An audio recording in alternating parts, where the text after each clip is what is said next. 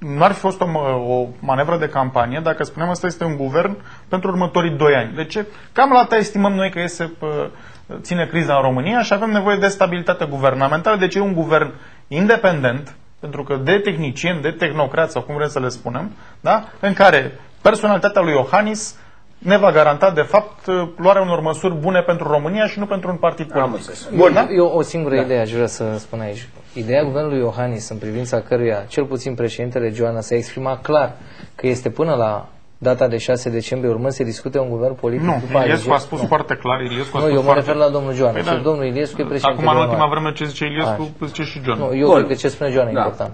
Uh, urmând ca apoi să se discute. Urmând ca apoi este un guvern politic și iar acest guvern Iohannis avea și noi sperăm că încă mai are șanse, poate ajunge la gânduri mai bune domnul Băsescu, uh, trei sarcini. Una, să negocieze calificat cu Fondul Monetar Internațional, a doua, să dea legea bugetară anuală și a treia, să organizeze alegeri deasupra oricăror suspiciuni de fraudă.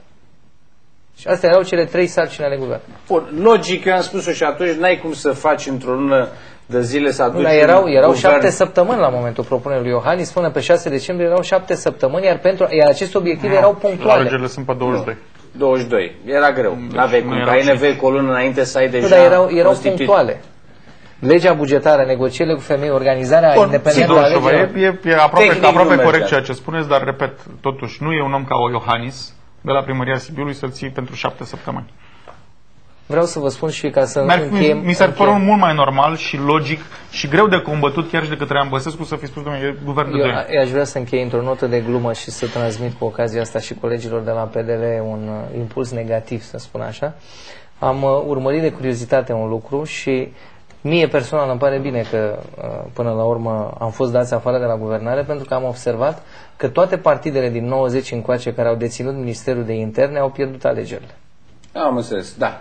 Parcă văd că își dă demisia repede, blaga, să nu dețină uh, ministerul. Vă mulțumesc pentru prezența în emisiune. Mie îmi pare rău că ceea ce am spus atunci, uh, i-am transmis domnului Claus Iohannis, că, din păcate, va ieși foarte șifonat și va părea ca un om care a fost uh, folosit. Da, n-a ieșit șifonat, acum nu exagerați. Ce vină are Claus Iohannis că nu s-a întâmplat? Nu, asta nu înseamnă că îi scade valoarea ca primar sau ca om.